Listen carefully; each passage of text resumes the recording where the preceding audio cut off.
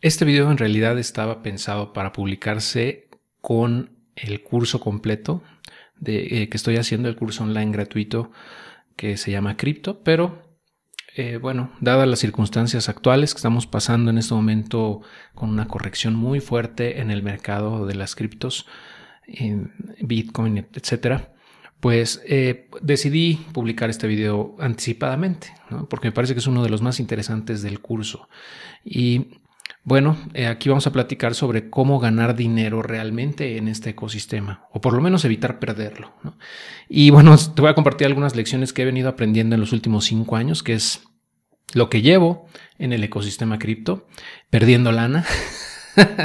ganando y perdiendo, ¿no? Pero en realidad he, perdido también muchísimo eh, por errores, ¿no? Principalmente eh, que he cometido en los años, desde que empecé más o menos en este rollo ya como más, más de lleno fue más o menos a mediados de 2017, por ahí. Entonces, bueno, pues he cometido muchísimos errores y espero que esta información te resulte muy útil. Bueno, vamos a comenzar con el primero, que eh, es una frase que, que, en inglés dice, There's no such a thing as a free lunch, que básicamente se puede traducir como no hay nada gratis, ¿no? No hay lonche gratis. Es decir, eh, nadie te va a regalar nada. ¿no? Normalmente cuando, el, cuando empezamos a ganar, o bueno, cuando nuestros activos se, empiezan a apreciar, ¿no? que sube de precio Bitcoin, sube de precio Ether o lo que sea que tengas, empieza a subir, pues estás ganando, ¿no? Entre comillas, pero no es que tú estés produciendo algo, sino que básicamente es porque más gente está comprando de la que está vendiendo ¿no? O sea, el monto que se está comprando es mayor al que se vende, entonces eso empuja el precio hacia arriba, pero eso no, eh, realmente no viene de la nada, sino que es gente que está entrando y está comprando, ¿ok? Entonces, esa apreciación de tu activo o tus activos proviene del dinero que está ingresando al ecosistema. ¿ok? Entonces, eh, pues hay que tener eso en mente siempre. ¿no? Y esto aplica también mucho, por ejemplo, en los NFTs, en, los Play to Earn Games, ¿no? todos esos juegos eh, donde pues te, pagan, entre comillas, por jugar, pero pues también el dinero proviene de alguien más que está dispuesto a, pagar para jugar. ¿no? Eh, y entonces eso hace que el, token que te están pagando o que te estén dando por jugar se, va, se aprecie o por lo menos se mantenga el tiempo suficiente para que tú puedas recuperar tu inversión. El caso es que, bueno, aquí el punto es que no hay dinero gratis, ¿no? Entonces eso, teniéndolo claro, te va a poder permitir tomar mejores decisiones más adelante. Eh, y bueno, viene de la mano el segundo punto, que es tomar ganancias. Y aquí te lo pongo cuatro veces, ¿no? Toma ganancias, toma ganancias, toma ganancias, toma ganancias. ¿Por qué? Eh, porque bueno, este yo creo que es el principal error que he cometido en el mercado cripto, el no tomar ganancias cuando tengo plusvalías, o bueno, más bien cuando tengo una ganancia no realizada. ¿no? Eh, me cuesta tu trabajo, todavía yo creo que no lo he entendido del todo y por eso es que me volvió a pasar en este bull market nuevamente, ¿ok? Y es muy importante eh, este, este punto porque pues si nunca tomas ganancias, en realidad nunca estás realizándola. Entonces, estos activos suben y bajan bastante. Entonces, si tú no tomas ganancias en las subidas, cuando ajuste el mercado, porque eso sucede y va a seguir sucediendo como en este momento, pues esas ganancias no realizadas van a esfumarse, ¿ok? Se van a esfumar. Y no sé, por ejemplo, si tenías 100 eh, mil pesos de ganancia, eh, y no tomaste ganancia cuando, eh, digamos, el mercado estaba muy arriba, o sea que estaba muy, muy eufórico el mercado, había mucho FOMO, la gente estaba muy entusiasmada, etcétera. Cuando todo iba perfecto, pues cuando se ajusta el mercado, normalmente pierdes todo eso que habías ganado. Incluso puedes llegar a perder, eh, perder incluso parte de lo que habías invertido originalmente. ¿no? Entonces hay que tener eso en cuenta siempre. Eh, este mercado es cíclico, como lo hemos visto, como lo sabemos ya los que estamos en este rollo. Entonces nada sube para siempre, ¿ok? Nada va a subir eternamente porque como te digo en el punto anterior, no hay lonche gratis, o sea, no hay nada gratis. Mientras haya gente entrando y, comprando, pues va a seguir subiendo, pero va a llegar un punto en el que pues ya no va a entrar tanta gente o al menos la misma cantidad de gente, o sea, el dinero que entre, para mantener el precio a ese nivel y va a ser mayor la, presión de venta de la gente que entró antes y que quiere tomar ganancias, ¿ok? Eh, y bueno, nada más para que lo tomes en cuenta, toma ganancias, por favor. Y no quiero decir con esto que esas ganancias te las vas a gastar, que te vas a comprar un coche, que vas a andar por la calle viviendo como millonario con esas ganancias. No, no, sino que se trata aquí de acumular liquidez para recomprar después cuando el mercado ajuste, ¿ok? Entonces, conforme el mercado suba, tienes que tomar algo de ganancias y tienes que ir guardando una parte en liquidez, o sea, con, pues, alguna stablecoin o con dinero en efectivo, digamos, en una cuenta bancaria o como tú lo quieras. Pero generalmente la gente lo que hace es cambiar esas criptos por monedas estables como Tether, como DAI, como USDC, etcétera, para tener ese dinero disponible en dólares para que cuando el mercado ajuste puedan comprar más barato, ¿ok? Eso es muy importante porque al final de cuentas hay que medir esto, tu inversión desde mi punto de vista debería estar medida en términos nominales, es decir, en cuántas monedas tienes de los activos que a ti te gustan, por ejemplo, cuánto Bitcoin tienes, cuánto, cuánto Ether tienes en, en esa escala, en esa unidad de medida, no en dólares. ¿ok? Para que en el largo plazo, pues eh, siempre tengas esa mentalidad de pues ir acumulando cada vez más de esos activos, ¿ok? Independientemente de su precio en dólares. Pero obviamente, pues si el precio sube demasiado hay que tomar ganancias. ¿Por qué? Porque entonces es muy probable, altamente probable que ajuste y eso te va a permitir comprar más barato. Otro punto muy importante es que evites apalancarte o endeudarte para comprar tokens que son basura o para especulación, ¿no? o haciendo trading. Eso es muy peligroso porque, como sabes, este mercado es el más volátil que existe. Entonces, si tú te apalancas demasiado o, te, te endeudas de más y el mercado ajusta de manera importante, como en este momento, te van a liquidar ¿ok? Te van a liquidar esos, esos, esas posiciones o bien esos préstamos colaterizados, ¿sí? Y, pues porque va a llegar un punto en el que te quedes sin la liquidez para poder agregar colateral para cubrirlo, ¿ok? Entonces tienes que hacerlo, si es que lo vas a hacer, ¿no? Más bien, tendrías que hacerlo asumiendo que el mercado puede caer un 80, un 90% desde su all-time high, o sea, desde su máximo histórico, eh, en cualquier momento. O sea, que en cuestión de semanas podría ajustar hasta tocar niveles, como lo estamos viendo en este momento, de un 80, un 90% en algunos activos, ¿no? En las altcoins, normalmente en, criptomonedas más eh, volátiles. Eh, y Bitcoin lleva casi un 70%, 60 y tantos por ciento. Entonces hay que tener eso en cuenta, ¿ok? Porque eh, todo es maravilloso cuando estás especulando hasta que el mercado se te voltee en contra. Y ahí es muy, muy peligroso porque te pueden, eh, te pueden liquidar. ¿Y qué significa eso? Bueno, pues que pierdes el dinero que tenías ahí depositado como colateral. En el caso de los préstamos, normalmente te liquidan no al 100%, no, o sea, no, no, no pierdes todo, sino que pues, te quedas con un 20% o algo así de lo que tenías depositado. Cada, cada plataforma se maneja de manera diferente, pero al final de cuentas, pues es un trancazo, ¿ok? Te van a, te van a, rasurar, ¿no? Entonces hay, que tener mucho cuidado y hacerlo con mucho, mucho cuidado, por, por favor, para no caer en liquidaciones. También es importante armar una estrategia de acumulación periódica si tú quieres, ¿no? Eh, cada mes, cada X tiempo, y con una visión de largo plazo. Es decir, por lo menos 5 o 10 años. Desde mi punto de vista, entrar aquí con una convicción de seguir acumulando, pase lo que pase, durante los próximos 10 años.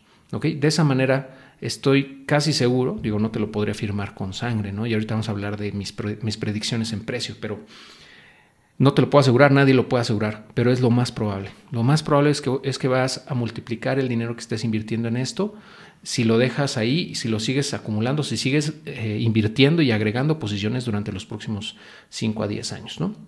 Entonces, bueno, por eso es, es importante, le llaman DCA, es Dollar Cost Average, que es básicamente comprar de manera recurrente independientemente del precio. ¿ok? Y eh, bueno, sobre todo yo creo que aquí lo más importante es no perder la convicción. ¿A qué me refiero con convicción? Pues eh, el seguir aprendiendo, el seguir eh, empapándote de este ecosistema y entenderlo realmente para que tú tengas claro hacia dónde va. ¿no? Y parte del curso, del objetivo de este curso es eso, justamente que tengas más claridad en hacia dónde va este ecosistema y por qué es tan importante que lo entiendas y que inviertas en él, si te interesa, claro. Y esa convicción te va a permitir poder comprar más cuando todos están sangrando, ¿no? Como en este momento que estoy grabando esto, pues Bitcoin anda, como en los 23 mil dólares, más o menos. Eh, y estamos hablando de junio 2022, ¿ok?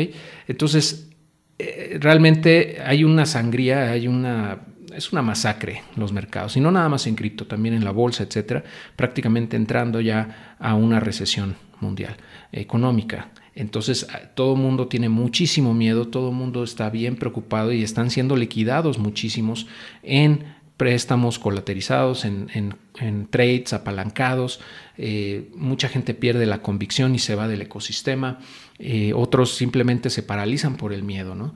Eh, pero bueno, si tú estás haciendo dollar cost average, en este momento es cuando pues, podrías agregar más posiciones porque en términos nominales, por ejemplo, mil pesos que, que compres hoy de Bitcoin, en términos nominales, o sea, en decimales, va a ser mayor a lo que hubieras comprado, obviamente, cuando, cuando Bitcoin estaba más caro. Entonces, eso te permite ir agregando mayor cantidad con un menor dinero, con una menor cantidad de dinero. ¿no? Ese, ese promedio es muy importante, sobre todo en los mercados bajistas. Porque si, eh, si acumulas de manera recurrente en esos mercados bajistas, por ejemplo, en el último bear market de 2018 a 2019, 2020, eh, la gente que hizo dollar cost average en esos años, ahorita está tranquila porque su precio promedio de compra es muchísimo menor al que está ahorita. estoy hablando de que su precio promedio puede ser 6 mil dólares, 8 mil dólares, 10 mil dólares, eh, cuando mucho. Y ahorita estamos en 23 mil. Entonces, esa es la importancia de hacer dollar cost average, que en el largo plazo este tipo de volatilidad no te afecte tanto y que lejos de, paralizarte por el miedo y, estar estresado, te va a dar gusto que baje porque puedes comprar más a menor precio.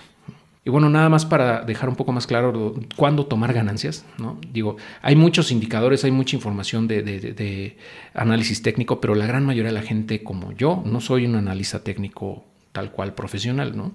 Eh, es muy difícil hacer un timing del mercado. Eh, la gran mayoría que intenta hacerlo, pues no, no le sale, la verdad. Tienes que ser muy bueno haciendo trading eh, o, análisis técnico, aprender mucho de eso. Y, pues practicarlo bastante para que tengas un control adecuado de eso, de ese trading. Pero eh, digo, señales inequívocas, por ejemplo, de que estamos ya entrando en fase de burbuja, por ejemplo, es cuando eh, amigos o familiares tuyos te comienzan a preguntar sobre, sobre Bitcoin o sobre Ethereum. Eh, cuando en su vida han invertido en ellas, ¿no? O, como, o no sé, te empiezan a preguntar de meme coins como Doge, Dogecoin, como Shiba Inu, etc. En ese momento es cuando debes de estar pensando ya en tomar ganancias, ¿ok? Porque está entrando las masas, están entrando las masas menos preparadas, más eh, sensibles a la volatilidad y que piensan que va a seguir todo subiendo de manera indeterminada. Cuando entran las masas es la, la última fase del mercado alcista, por lo general. Es esas masas que entran como estampida a comprar caro, eh, le están comprando a los que entraron antes y normalmente cuando ellos dejan de, de comprar, pues el mercado comienza a caer. ¿no? Eh, esto, este momento en, los ciclos se, pues se identifica precisamente por este tipo de cosas, ¿no? que ya está entrando gente que ni conoce de esto, que en su vida lo ha hecho, que nada más porque sus amigos este, están metidos y le platicaron, también quiere hacerse millonario eh, de la noche a la mañana, entonces le está metiendo su dinero en eso sin realmente conocer los fundamentales ni, ni por qué está subiendo. ¿no? Eh, entonces esa gente cuando empieza a caer el mercado, pues es la primera en, en irse, ¿no? en perder la convicción y, perder lana. Entonces, pues este mercado se, maneja mucho así, por la euforia y la codicia. Eh, y digo, nada más como un, como un indicador, digamos, nada más de referencia, sin meternos mucho a detalle de, la, del análisis del, de, la cadena de, Bitcoin, por ejemplo, o análisis técnico. Como te digo, yo no soy experto en ese tema, pero un indicador muy fácil de comprender y de, de, analizar es este que te pongo aquí, que se llama Fear and Greed Index, o sea, el índice de miedo y codicia. Y este índice que te estoy mostrando en la pantalla, eh, pues indica de 0 a 100 qué tanto miedo hay o qué tanta codicia hay en, el mercado. En, el caso de, este momento que estoy grabando esto en junio 13 de 2022, vemos que hay un miedo extremo, extremo, extremo en el mercado. Eh, pero cuando, cuando este indicador anda por acá en el verde, es que hay mucha codicia y que hay mucha gente entrando que no tiene realmente el conocimiento, ¿no? Lo que te decía. Entonces ahí nada más si quieres irlo de vez en cuando checando, cuando veas esto muy verde, pues también es buen momento para empezar a tomar ganancias, ¿ok? Y bueno, ya antes de terminar con, con esto, este es el penúltimo punto, es tal vez obvio, pero creo que no, no está de más recalcarlo, el seguir aprendiendo, el consumir libros, podcasts, eh, vídeos en YouTube de gente seria, obviamente, cursos online y en Twitter estar empapado del tema, en Telegram, etcétera, es vital desde mi punto de vista para poder tener mejor convicción, más convicción, mejor dicho, eh, de, este, de lo que estamos haciendo en el mercado aquí. Y ah, pues aprender sobre todo de nuevos proyectos, de, cómo va evolucionando cada, cada, proyecto que estamos invirtiendo, como por ejemplo Bitcoin o Ethereum, ¿no? Cómo van, qué están haciendo, eh, si está, si está siendo adoptado o no, nuevos desarrollos, cómo va el roadmap, si, si va en tiempo o qué mejoras están haciendo, si hay algún problema, etcétera, ¿no? Y eso también te va a evitar entrar en cosas que no deberías, como lo que pasó con Terra, ¿no? Yo afortunadamente no tenía mucho dinero. Eh, digo, con base en mi portafolio total era muy poco, pero eh, pues por no seguir el proyecto de Terra, no me di cuenta que, estaba eh, pues bastante endeble ¿no? a nivel fundamental digo, por lo mismo, yo creo que no le metí mucha lana, no estaba muy al pendiente, ¿no? Eh, pero ese es un error muy común, o sea, meterle lana a proyectos que no conoces o que no estás bien empapado y nada más por especulación.